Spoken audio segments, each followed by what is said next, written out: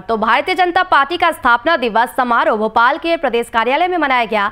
यहाँ मुख्यमंत्री doctor Mohan Yadav, BJP प्रदेश अध्यक्ष वीडी शर्मा और चुनाव प्रभारी महेंद्र सिंह ने ध्वजारोहण किया। इस मौके पर सीएम मोहन ने पूर्व मुख्यमंत्री दिग्विजय सिंह और कमलनाथ पर निशाना साधा और डॉक्टर मोहन यादव ने कहा कि हार से डर से दिग्विजय सिंह पैदल घूम रहे हैं, वही कमलनाथ ने तो मैदान ही छोड़ दिया है। सीएम मोहन यादव ने कहा कि कांग्रेस ने देश को दुष्टचक्र में डाल दिया था जबकि भारतीय जनता पार्टी जन कल्याणकारी काम कर रही है और उन्होंने कहा कि कांग्रेस ने संतों का कभी सम्मान नहीं किया, जबकि भाजपा ने संतों को राज्यसभा भेजा है और प्रधानमंत्री नरेंद्र मोदी के नेतृत्व में दुनिया आज भारत की तरफ़ देखी जा रही है बंधु एक लाख के पार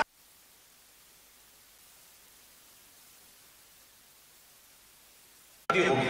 ये पहले हो सकता था, लेकिन कांग्रेस की इच्छा शक्ति नहीं। कांग्रेस कभी किसानों का भला करने की बात नहीं करती। किसानों की सम्मान निधि अगर देने का काम माननीय प्रधानमंत्री ने कहा है तो हमारे यहाँ पूर्ववर्ती सभी योजनाओं को लागू रखते हुए, लाडली लक्ष्मी योजना से लेकर सभी योजनाओं को हमारी सरकार निर्बाध रूप से चालू रख रही है। इसी कारण से बीती पाँच तारीख को हमने अपनी लाडली बहनाओं की जो राशि देने की बात कही थी, वो हमने लागू की है। अभी कांग्रेस के नेता कह रहे हैं, ये लाली लक्ष्मी योजना आखिरी है। तुम कहते रहिए, सरकार बार बार बनती रहेगी और हम जनता के कल्याण के काम इसी प्रकार से करते रहेंगे। एक नहीं, दो नहीं, ऐसे लगातार कई कामों के उदाहरण अब आपके सबके सामने है। सुप्रीम कोर्ट का निर्णय है। खुले में मांस मदिरा कैसे बिक सकती?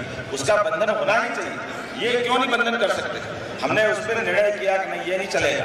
इसी प्रकार से सुप्रीम कोर्ट के जो जो निर्णय रहे हमने सबने देखा है कि सरकार चलाने में सरकार की संवेदनशीलता होना चाहिए, पारदर्शिता होना चाहिए, जवाबदेही होना चाहिए। और ये सरकार गरीबों की सरकार गरीबों के साथ किसान, युवा, महिला, सभी के मान सम्मान की सरकार आपने देखा, सरकारी स्तर पर भी अगर कोई बदतमीजी होती है सरकार वो बर्दाश्त नहीं करेगी। हमारे फैसले अपने आप में दिखते हैं, जो हमने अपने चयनकर्ताओं के माध्यम से भी देखे होंगे।